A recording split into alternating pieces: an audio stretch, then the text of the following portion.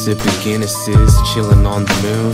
Her name is fucking Luna, I'm the loony to the tune. Kissing on her neck because she's gorgeous. Flirting with her mama cause her ass is so enormous.